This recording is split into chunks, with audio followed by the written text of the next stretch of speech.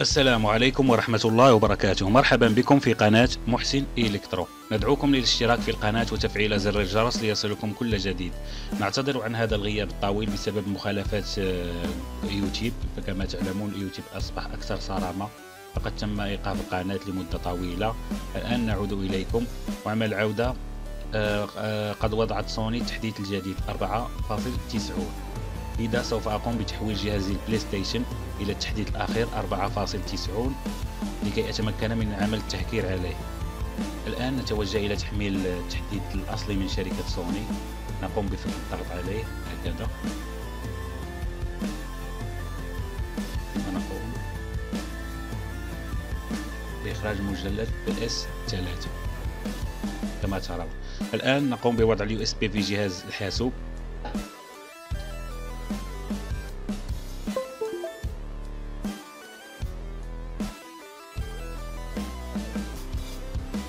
هذه USB عليها ملفات نقوم بفورماطاتها على FAT 32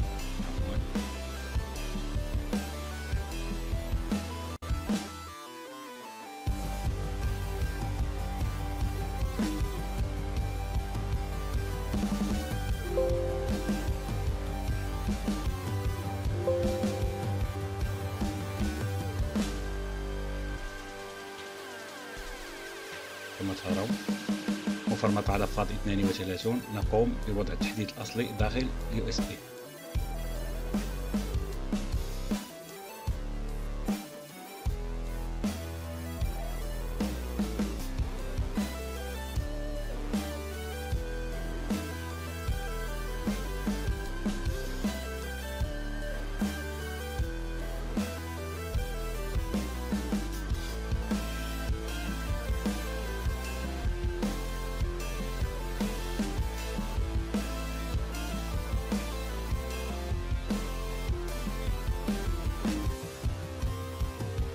ثم نقوم بإخراج ال USB والتوجه إلى جهاز ال PlayStation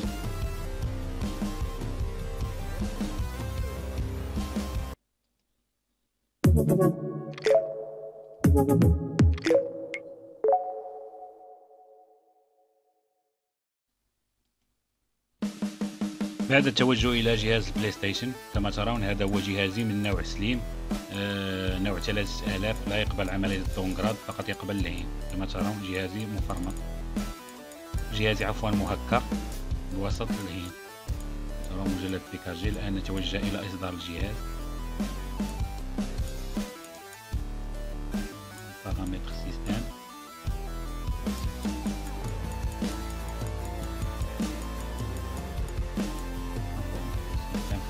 جهازي على تحديث 489 وسوف أقوم بتحويله إلى التحديث الأخير 490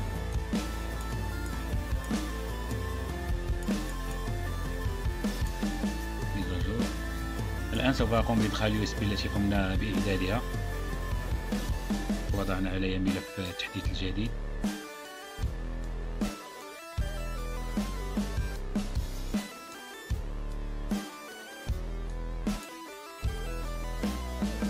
كما ترون هو 4.9 سوف أقوم بتمريره إلى جهاز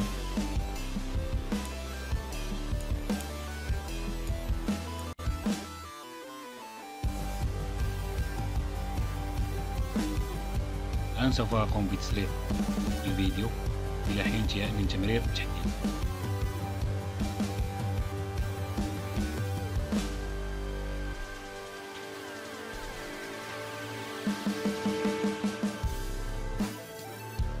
كما ترون الآن التحديث تم تمريره إلى جهاز ليصبح على التحديث 4.9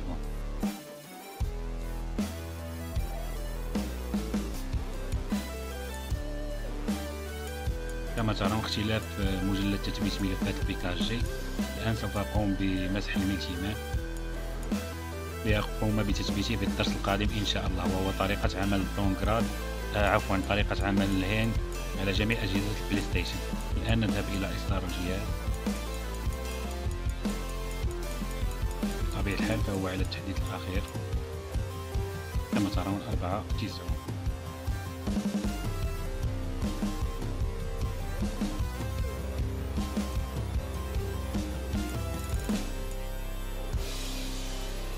كان هو طريقة تمرير كان هذا الدرس اليوم طريقة تمرير التحديث الأخير على جهاز PlayStation. إلى الدرس القادم إن شاء الله وهو طريقة تحديد تهكير جهاز بواسطة الهين.